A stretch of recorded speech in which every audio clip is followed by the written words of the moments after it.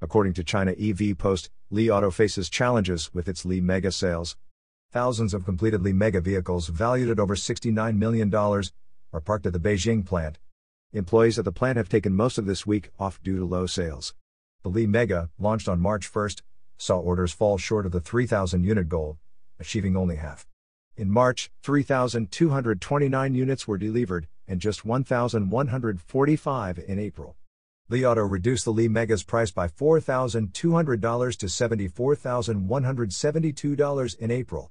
The company also lowered its 2024 sales forecast to 560,000 to 640,000 units and is laying off over 18% of its workforce, affecting more than 5,600 people.